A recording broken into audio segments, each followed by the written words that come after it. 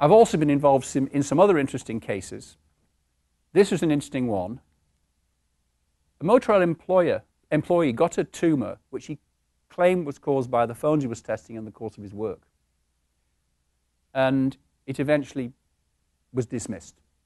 I mean, the guy did have a brain tumor. That was unfortunate. The amazing thing is, he sued Motorola. They kept him on the payroll for years while he was suing them. Then there's another one in this local area between Christopher Newman and Motorola. He got a brain tumor and he claimed he was a, a big cell phone user and he got the brain tumor as a result. And this went to a hearing in Baltimore and this was also dismissed. And to date, nobody has ever won a lawsuit against any cell phone company or provider or you name it, claiming that that's what, what caused their, their brain tumor. What, okay. Why is that? I mean, what was the um, defense's um, argument? Well, the defense was that there has to be a cause of the tumor. You've got to identify what's the mechanism by which the radiation causes the tumor. And there was no mechanism. And those of us who were helping defend the phone companies were able to show scientifically that the evidence was so overwhelming in favor of there being no mechanism for this phenomenon that the judge judged that there really was no case to answer. Now, this did not go to a jury trial. I mean, here's the thing cases occasionally, they've never gone to a jury trial. Cases that go to jury trials, then of course you're under mercy of 12 jurors who quite often might not understand what's going on. And then you, you really worry that you can get jury bias, but it hasn't happened to date. Even so, the state of Maine right now is trying to get regulations passed to put a, cell, a, warn, a health warning on all cell phones, like they do on packets of cigarettes. Did you have a question? Yeah, I have a whole lot of questions, but okay. I'll just wait until we. Sure. And, you know, right now, I think it's Senator Voinovich wants to have all cell phones indicate their exposure values, these SAR values, so that consumers can pick ones with the lowest values. Well, this is totally misleading because cell phones have different exposure values, but they're all way below the safety standard by the FCC. And it may well be that one, two of the lower values might be slightly high-tech phones because it's in nobody's interest to have more energy go out of the phone than is necessary because the phone is more efficient and doesn't have to broadcast as much energy then the battery lasts longer.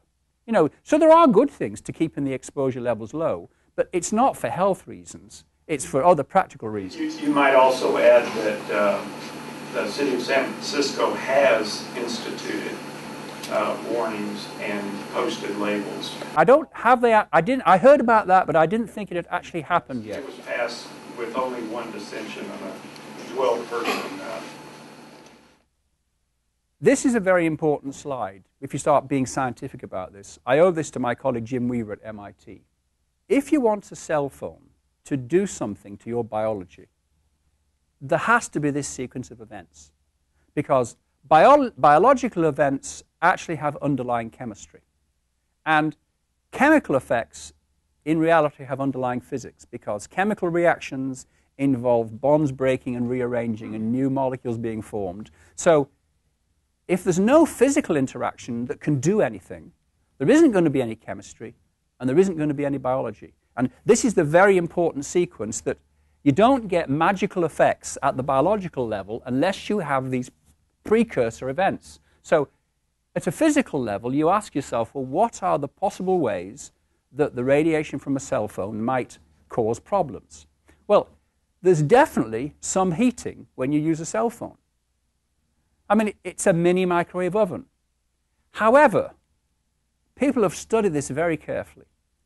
It appears that the highest temperature you could produce anywhere in your brain, even with a maximum power cell phone, is maybe two tenths of a degree. Now, if you drink a cup of hot coffee, you will elevate the temperature of your brain more than that. If you go jogging, you will elevate the temperature of your brain more, that, more than that.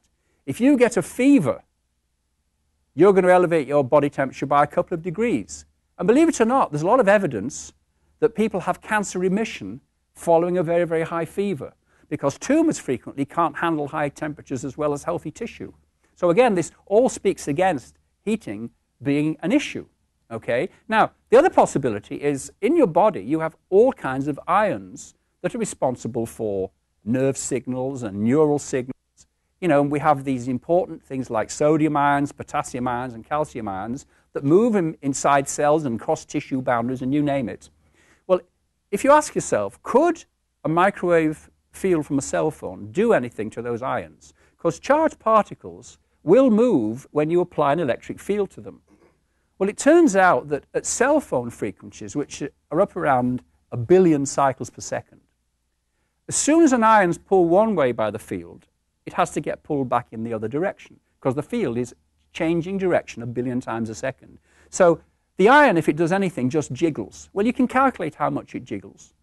It doesn't even jiggle by the size of an atomic nucleus because the inertia of the ion stops it going anywhere. Okay? Now, could you get the breakage of chemical bonds? Well, the weakest bonds in the body are about a thousand times stronger than the energy that's associated with microwave radiation. You see, radiation, we all talk about electromagnetic waves as what's involved. But if you look at it a little bit more deeply, if you start going into quantum theory, and I'm not going to try and teach you quantum theory, but you find that the electromagnetic field actually comes in little packets of energy that we call photons. And each photon has a certain amount of energy. And if the photon has enough energy and it bangs into a, an atom or into a molecule, it can break a bond if it has enough energy. But the photons in cell phones are a thousand times smaller than what you'd need to break the weakest bond in the body. So it really is implausible that non ionizing radiation of this kind can break chemical bonds. And of course, you need to break chemical bonds to make that transition to some chemistry and then some biology. Now, it's a fact. If you go and take an X ray of somebody or expose them to ionizing radiation, those photons have huge energy and they break bonds. And of course, you know, you get exposed to this stuff all the time. You know, fly from here to Denver, cosmic rays at 5,000 feet will break some of the bonds in your DNA. But our bodies are incredibly good at repairing themselves, and even those breaks that are caused by ionizing radiation get repaired very, very rapidly. Okay? But there are definitely risks associated with ionizing radiation. Now, we began to look at this whole issue of is there any other mechanism by which cell phones could interact with human tissue? Now, the point is that Cell phones have a particular frequency, but that frequency is modulated in order to carry the voice or the data or the pictures or whatever you're transmitting. And we talk about the main frequency that's sitting there, we call it the carrier frequency, but it has frequencies around it that carry the data that we call sidebands. So this is true for radio. If you look at an F, if you look at a if you listen to an FM radio station at, say, 100 megahertz, when they talk about that 100 megahertz, that's the carrier frequency from the station. But there are small variations of the frequency around that value that your radio decodes and translates back into voice or music. There's no low frequencies themselves involved. You know, there's no low frequencies come out of a cell phone antenna, just radio frequencies, which vary a little bit about a center frequency. And, and in fact, this is an example of what I mean. If you take a center frequency and you encode data on it, you get these patterns of frequencies around the, the sides that tell you about what's been encoded into that frequency. And these are examples for frequency modulation, which is the way that FM radio stations work. Now, cell phones quite often use this technique that's called GSM. If you have AT&T or T-Mobile as your provider right now, they use this type of signaling. It stands for Global System Mobilier or something like that. It's a European standard, but it's a worldwide standard. And it's rather complex the way they encode the data on the signal. And if you look at it, there's lots and lots of these frequencies near the carrier that are carrying the data in these encoded cell phone conversations. Okay? Now, this again is to illustrate why the photons from cell phones don't do anything. We are all happily living at about 37 degrees C. That's our body temperature. And we actually have thermal energy in our body. And the thermal energy has a characteristic value. If you like, it's the random jiggling of all the molecules in your body that store a certain amount of energy. Well, that random jiggling, okay, is very random. But again, the energy associated with, the thermal energy in your body is actually about 8,000 times bigger than what you get from a cell phone. So your ordinary thermal energy in your body and how much energy it has with it, it's like 8,000 times above a cell phone. And here's a snapshot. This is characteristic thermal energy, this great big bar here. Scientifically, we call it KT. T is the temperature, and K is the thing called Boltzmann's constant. Well, if you blow up the bottom bit down here, there's your cell phone photon. It's tiny compared to the thermal energies that are present. These are some simulations of mine where I took a cell phone, which actually had more power than is currently allowed. I had a half watt cell phone. These days, most of them are only two tenths of a watt. And I calculated if you took that entire half watt and you focused it into the brain, into the smallest possible volume possible, how much heating would you get? And here we are, over an hour, it was about half a degree. This calculation doesn't include the cooling from blood flow, the fact that the phone isn't actually focused into your head. So this is just showing physically that really isn't any heating caused by a cell phone. Now, those of the community who want to believe there's still a problem, they have coined this term, well, the mechanism that does you in is an athermal mechanism. It's something magical that happens. Even if you don't heat anything up, something happens. Okay? Well, the problem is, how do you explain it? You know, this is like saying it's magic. You know, and I don't believe in magic. Scientists, by and large, don't believe in magic. And if there was such a phenomenon, how would you ever explain or incorporate it into a safety standard? You know, it's like saying, well, how many angels can dance on the head of a pin? You know, can I buy a protective suit to keep my guardian angel away? You know, and there is some discussion in the medical community at the moment about does heating of the body have any health consequences? And there are some people out there, I don't think they're in a majority, that believe that if a pregnant woman has a fever at a certain critical stage, I think in the first trimester, I'm not quite sure exactly what weeks it is, there's some evidence that increased risk of birth abnormalities. But I don't think that finding is totally robust. And again, that's based on elevating the whole body by a couple of degrees. Okay?